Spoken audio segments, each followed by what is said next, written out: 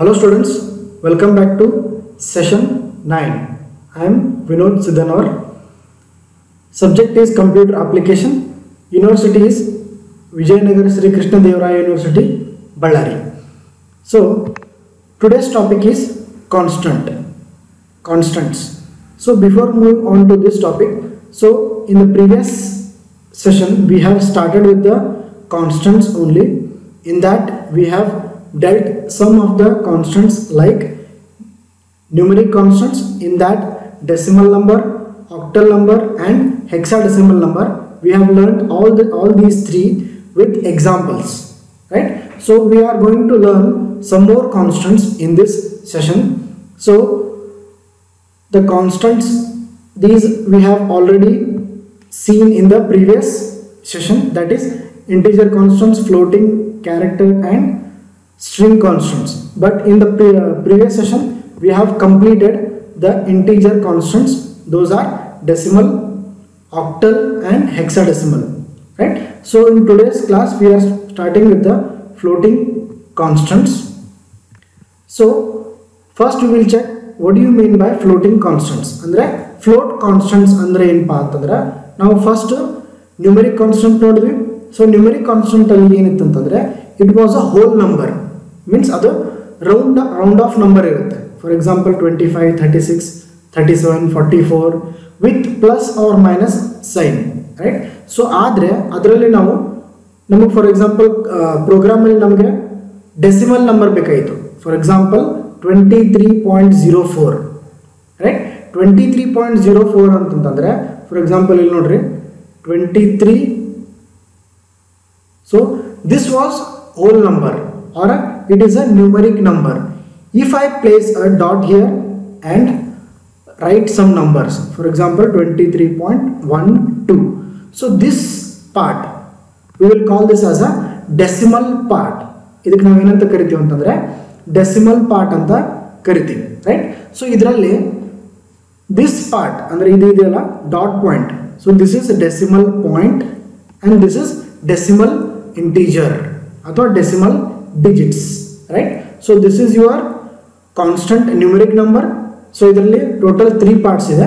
So this is your constant numeric values this is decimal point and this this is decimal digits right so ಈ ಥರ ನಮಗೆ values ನಾವು use ಮಾಡಬೇಕು ಅಂತಂದರೆ ಕಂ ಪ್ರೋಗ್ರಾಮಲ್ಲಿ ಅವಾಗ ಯಾವ ಯಾವ ಥರ ಕಾನ್ಸ್ಟೆಂಟ್ಸ್ ಯೂಸ್ ಮಾಡಬೇಕು ನಾವು?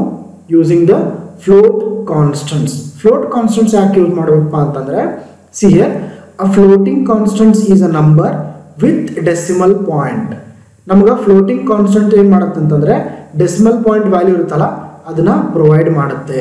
ರೈಟ್ ನಾವು ಯಾವುದೇ ಡೆಸಿಮಲ್ ಪಾಯಿಂಟ್ ವ್ಯಾಲ್ಯೂಸ್ ಬರಿಬೋದು ಅಂತಂತಂದರೆ using the floating point number only ಅಥವಾ floating point constant only right so it is defined as sequence of digits sequence of digits proceeded and followed by a decimal point ನೋಡ್ರಿ this is a decimal point and it is a followed by some digits preceded, right? Next, they may have prefixed with a plus or minus sign right so ಇದಕ್ಕೆ ನಾವು ಇಲ್ಲಿ values ಬರ್ದಿದ್ದೀನಲ್ಲ? So ಇದಕ್ಕೆ ನಾವು plus ವ್ಯಾಲ್ಯೂಸ್ನ ಹಾಕೋಬೋದು ಅಥವಾ ನೀವು minus ಅಂತ ನಾವು ಡಿಕ್ಲೇರ್ ಮಾಡ್ಕೋಬೋದು. Plus plus twenty three point one two ಅಂತ ನಾವು ಡಿ ಡಿಸೈಡ್ ಮಾಡ್ಕೋಬೋದು ಅಥವಾ minus twenty three point one two ಅಂತ ನಾವು ತಗೋಬೋದು right the quantity such as distance, height, temperature, and prices are many more. Like these are the quantities, and there are some quantities which are measured or which are calculated only with the help of decimal part, right? So, in that case, this floating constant will help us for representing these distance values height values, temperature values, and price values by using the float constant only. Right so float constant ಎದಕ್ಕೆ ಅದಕ್ಕೆ use ಮಾಡ್ತೀವಪ್ಪ ಅಂತಂದ್ರೆ ನಾವು distance calculate ಮಾಡೋಕ್ಕೆ use ಮಾಡ್ತೀವಿ height calculate ಮಾಡೋಕ್ಕೆ use ಮಾಡ್ತೀವಿ ಆಮೇಲೆ ಟೆಂಪ್ರೇಚರ್ ಕ್ಯಾಲ್ಕುಲೇಟ್ ಮಾಡೋಕ್ಕೆ ಯೂಸ್ ಮಾಡ್ತೀವಿ ಆಮೇಲೆ ಪ್ರೈಸಸ್ ಕ್ಯಾಲ್ಕುಲೇಟ್ ಮಾಡೋಕ್ಕೆ ಯೂಸ್ ಮಾಡ್ತೀವಿ. ಸೊ ಇದು ಇದೆಲ್ಲ ಯಾಕೆ ಯೂಸ್ ಮಾಡಿ ಇದೆಲ್ಲ ಕ್ಯಾಲ್ಕುಲೇಟ್ ಮಾಡೋದಕ್ಕೆ ಯಾಕೆ ಬೇರೆ ಫ್ಲೋಟಿಂಗ್ ಪಾಯಿಂಟ್ ಯೂಸ್ ಮಾಡ್ತೀವಿ ಅಂತಂದರೆ ಇದೆಲ್ಲ ಡಿಸ್ಟೆನ್ಸ್ ಹೈಟ್ ಮತ್ತು ಟೆಂಪ್ರೇಚರ್ ಪ್ರೈಸಸ್ ಇದಾವಲ್ಲ they will produce a decimal point ಅಂದ್ರೆ ಡೆಸಿಮಲ್ ಪಾಯಿಂಟ್ ಬರುತ್ತಲ್ಲ that is point one two point one three point three four so ಈ ಥರ ಡೆಸಿಮಲ್ ಪಾರ್ಟ್ ಬರುತ್ತಲ್ಲ ಸೊ ಆ ಪಾರ್ಟ್ನ ನಾವು ರಿಪ್ರೆಸೆಂಟ್ ಮಾಡೋದಕ್ಕೆ ಫ್ಲೋಟ್ ಕಾನ್ಸ್ಟೆಂಟ್ ಅಷ್ಟೇ ಯೂಸ್ ಮಾಡ್ಬೋದು ನಾವು. ಇಂಟೀಜರ್ ಕಾನ್ಸ್ಟೆಂಟಾಗಿ ಯೂಸ್ ಮಾಡೋಕ್ಕೆ ಬರೋದಿಲ್ಲ. Right so for that reason we can calculate these quantities using the float constant only ಈಗ ನಾವು ಒಂದಿಷ್ಟು example ನೋಡೋಣಂತೆ so this is two forty six is a integer value but point zero one ಅಂತಿದೆಯಲ್ಲ so this will become float value so this is a float value right next is plus one two point two five so ನಾವು ಇಲ್ಲಿ plus sign use ಮಾಡಿದ್ದೀವಿ ಇಲ್ಲಿ ನೋಡ್ರಿ they may have prefixed plus or minus sign so plus ಅಥವಾ minus sign ನಾವು use ಮಾಡ್ಕೋಬಹುದು with decimal point ಇದೆ so this is also float constant next zero point zero zero five so this is also a valid floating point constant. Next 82.0 this is also a floating point constant. 99.9999 right so this is also a floating point constant. Here we can see here minus 0 point ಅಂತ use ಮಾಡಿದ್ವಿ right so now minus sign use ಮಾಡಬಹುದು so 0 will be a number and it is, it is having decimal point part as 1 2 3 so this is also a floating point value. So, these are the some of the valid floating point constants. So, hope you understood how the floating point constant works. ಅಂದ್ರೆ floating point ಹೆಂಗೆ constant ಹೆಂಗಿರುತ್ತೆ so ಅದು ಹೆಂಗೆ work ಆಗುತ್ತೆ ಅನ್ನೋದು ನೀವು ನೋಡ್ಕೋಬಹುದು right ನಾವು will go on to the some more example of constant floating point ಅಂದ್ರೆ ಫ್ಲೋಟಿಂಗ್ ಪಾಯಿಂಟ್ನ ನಾವು ಮತ್ತೆ ಯಾವ ಥರ ಯೂಸ್ ಮಾಡ್ಬೋದು ಅನ್ನೋದು we will see name next is floating point constant. These floating point constant can be expressed in a exponential see here so this is a exponential or scientific exponential or scientific notation. The general form is mantissa e exponent. Mantissa e exponent. And now ಈ floating ಪಾಯಿಂಟ್ಸ್ನ just ಬರೀ decimal points ಬರೆಯೋದಕ್ಕೆ ಅಷ್ಟೇ use ಮಾಡೋದಿಲ್ಲ.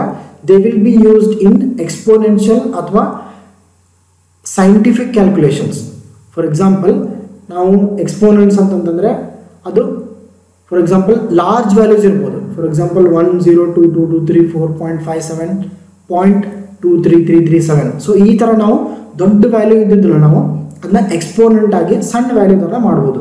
Right ಅದಕ್ಕೆ general form ಯಾವ್ದಪ್ಪ ಅಂತಂದ್ರೆ mantissa E exponent so ಇದರಲ್ಲಿ ಮ್ಯಾಂಟಿಸಾ ಅಂದ್ರೆ ಏನಪ್ಪ ಅಂತಂದ್ರೆ it is a real number real number ಅಂತಂತಂದ್ರೆ that may be float value or that may be a integer value expressed in decimal notation express in decimal notation or in integer so ನಾವು mantissa value ಯಾವ್ದು ಯಾವ ಥರ ಇರುತ್ತೆ ಅಂತಂದ್ರೆ it may be a integer value or it may be decimal value integer value ಯಾವ ಥರ ಇರುತ್ತೆ? One two three four five ಅಥವಾ sixty seven forty seven thirty six three hundred four hundred so ಈ ಥರ ಇಂಟೀಜರ್ ವ್ಯಾಲ್ಯೂ ಇರುತ್ತೆ. Decimal point ಯಾವುದು ಯಾವ ಥರ ಇರುತ್ತೆ? Twenty three point one seven thirty six point two seven thirty three point one five seven so ಈ ಥರ decimal point ಇರುತ್ತಲ್ಲ, ಆ ಥರನೂ ಇರ್ಬೋದು right mantissa value may be decimal notation or and integer values ಅದರಲ್ಲಿ ಮತ್ತು ಆಮೇಲೆ ಎಕ್ಸ್ಪೋನೆಂಟ್ ಅಂತಂತಂದರೆ exponent may be I an integer number an integer number with plus or minus sign so ಹಿಂಗಂದ್ರೆ ಏನಪ್ಪ ಅಂತಂತಂದ್ರೆ ಸೊ ಅದು ನಾವು ಇಂಟೀಜರ್ ಅದು ಎಕ್ಸ್ಪೋನೆಂಟ್ ಅನ್ನೋದು ಇಂಟೀಜರ್ ನಂಬರ್ ಇರುತ್ತೆ. ಸೊ ಅದು decimal number ಆಗೋಕ್ಕಾಗೋದಿಲ್ಲ it should be only a decimal number with plus or minus sign mantissa ಅನ್ನೋದು ಏನಿರುತ್ತಲ್ಲ, ಅದು ಡೆಸಿಮಲ್ ನಂಬರ್ ಆಗಿರ್ಬೋದು ಅಥವಾ ಇಂಟೀಜರ್ ನಂಬರ್ ಆದರೂ ಆಗಿರ್ಬೋದು. ಆಮೇಲೆ ಅದಕ್ಕೆ ಪ್ಲಸ್ ಆರ್ ಮೈನಸ್ ಸೈನು ಇರುತ್ತೆ. ಬಟ್ ಎಕ್ಸ್ಪೋನೆಂಟ್ ಇರುತ್ತಲ್ಲ ಅದಕ್ಕೆ ಏನಿರುತ್ತೆ? Just it should be a integer number not decimal number exponent number ನಾವು ಡೆಸಿಮಲ್ ನಂಬರ್ ಆಗಿ ತೊಗೊಳಕ್ಕೆ ಬರೋದಿಲ್ಲ. It should be only integer number with plus or minus sign right so this is what about the floating point constant having mantissa and e exponent so ಇದ್ರದ್ದು example ಬಂದು twenty three e minus seven so ಇಲ್ಲಿ ನೋಡ್ರಿ. So this is a integer value so as it as I was saying mantissa may be integer value ಇಲ್ಲಿ ನೋಡ್ರಿ ಅದೇ point zero eight ಅಂತ ಇದೆ. So it may be decimal number also so ಇಲ್ಲಿ ಅದೇ ಥರ ಇದೆ ತ್ರೀ ಪಾಯಿಂಟ್ ಫೋರ್ ಅಂತ ಇದೆ.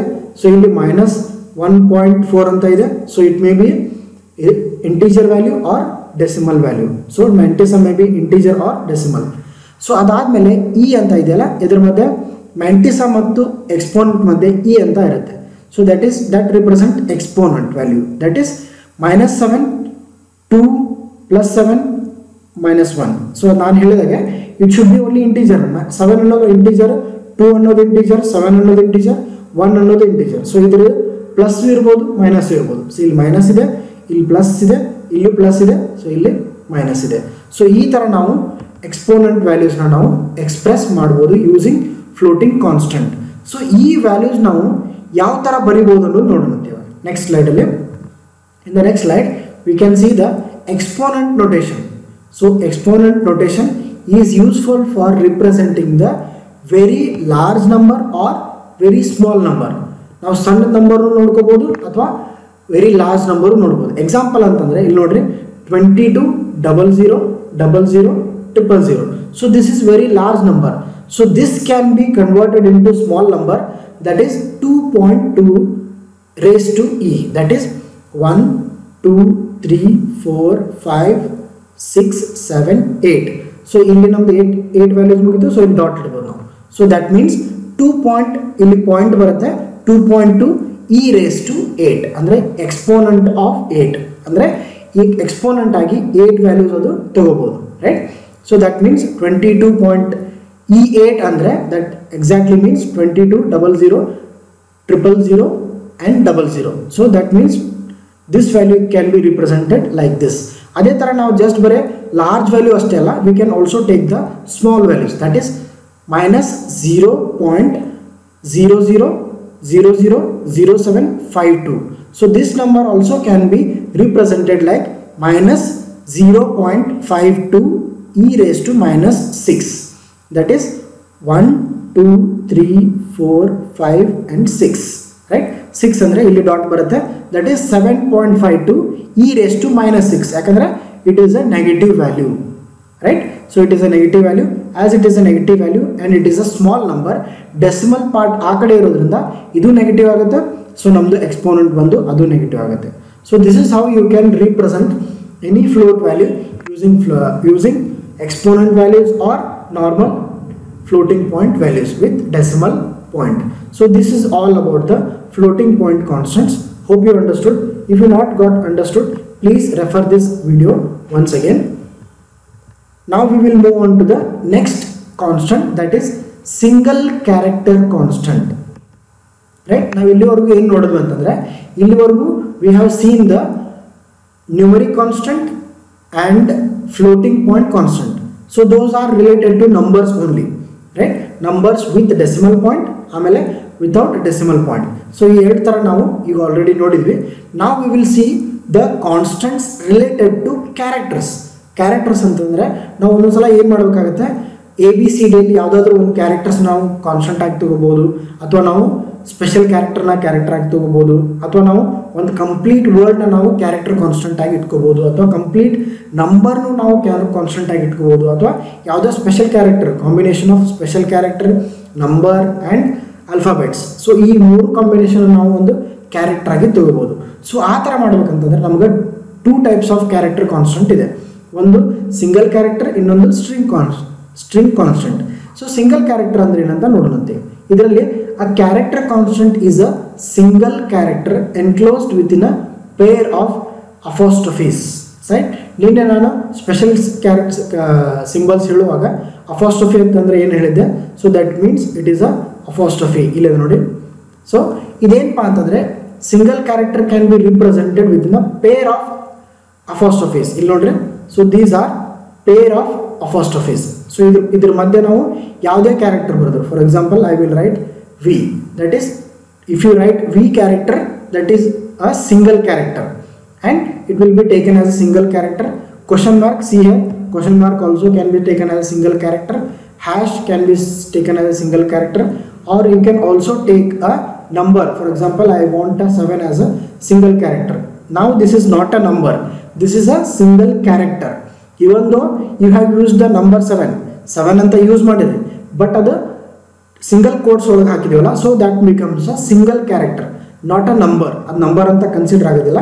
That will be considered as a single character ಅದೇ ನಾವು ಜಸ್ಟ್ ಬರೋ ಬ್ಲ್ಯಾಂಕ್ ಕ್ಯಾರೆಕ್ಟರ್ ಈ ಥರ ಯೂಸ್ ಮಾಡಿದ್ರೆ that is called a blank character so this is how you can use the single characters ನಾವು will see the string constant C string constant ಅಂದ್ರೆ ಏನಪ್ಪ ಅಂತಂದ್ರೆ a single string constant is a sequence of character enclosed within a pair of double quotes ನೋಡ್ರಿ pair of double quotes ನಾವಿಲ್ಲೇ ಮೇಲೆ single quote ಹಾಕಿದ್ವಿ.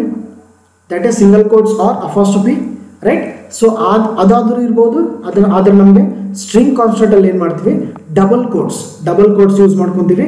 So double quotes use ಮಾಡಿಕೊಂಡು ನಾವು ಯಾವುದಾದ್ರೂ ಸ್ಟ್ರಿಂಗ್ ಕಾನ್ಸ್ಟೆಂಟ್ ಇದರಲ್ಲಿ ಸಿಂಗಲ್ ಕಾನ್ಸ್ಟೆಂಟ್ ರಿಪ್ರೆಸೆಂಟ್ ಮಾಡಕ್ಕೆ ಬರೋದಿಲ್ಲ. So I want to represent my name so ನಾನು ನನ್ನ ನೇಮ್ ರಿಪ್ರೆಸೆಂಟ್ ಮಾಡ್ಬೇಕು ನನಗೆ. ಸೊ ಅದರಲ್ಲಿ ನಾನು ಏನು ಬರಿಬೋದು? ವಿ ಐ ಐ ಅಂತ ಬರೆದೆ. ಸೊ ನೆಕ್ಸ್ಟ್ ಇಲ್ಲಿ N O O and D so this is your string ಯಾಕಂದರೆ ಇದು ಮೋರ್ ದನ್ ಒನ್ ಕ್ಯಾರೆಕ್ಟರ್ ಇದೆ.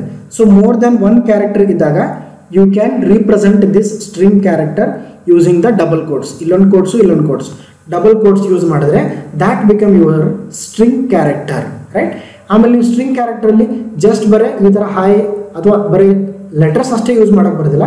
You can also use the numbers and that becomes a string number ಇಲ್ಲಿ single character number ಅಂತ ಬರುತ್ತೆ. See or I have use seven this is a single character constant this is also number but it is a string constant number so it can, it is, now it is treated as a character, not a number.